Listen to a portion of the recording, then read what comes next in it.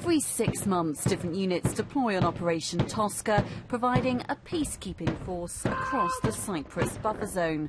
Reservists and regulars, sappers, loggies, REME. There have been many different CAP badges over the years, but now, for the first time in over a decade, regular infantry soldiers are back on patrol. The 1st Battalion, the Irish Guards, deployed in April to represent the British contingent of the UN mission, and they've been joined by reservists from the London Regiment. What's unique about this deployment is the fact they're not just working alongside one another, they're fully integrated.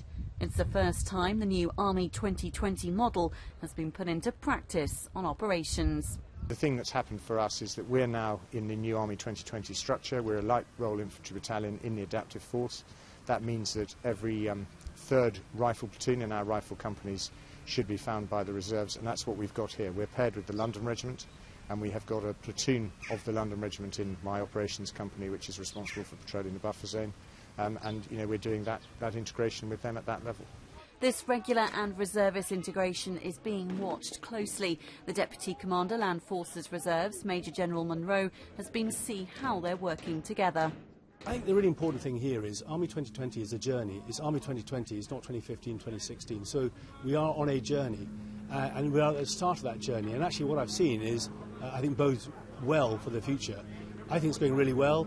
Uh, the Irish Guards have been extremely welcoming to uh, the Londons and other CAP badges. Of course, there are lessons to be learned in terms of how long the deployment should be, how much integration before they deployed here.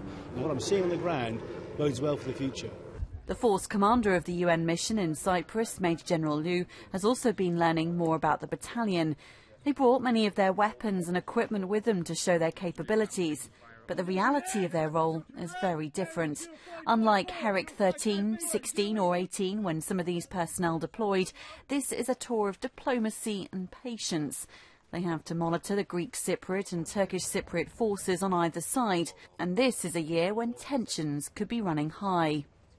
2014 is a very significant year to be part of the UN here in Cyprus. The Irish Guards have arrived at a time when the mission is marking its 50th anniversary. And in July this year, it will be 40 years since the island was divided.